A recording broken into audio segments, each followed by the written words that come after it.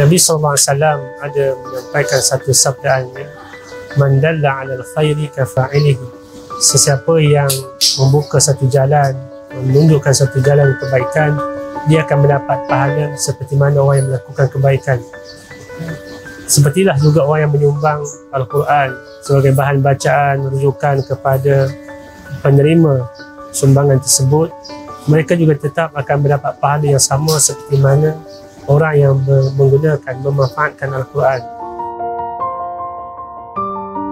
Sangat uh, sukalah dengan Al-Quran ni. Terima kasih pada para penyumbang dan para pewakaf. Hmm.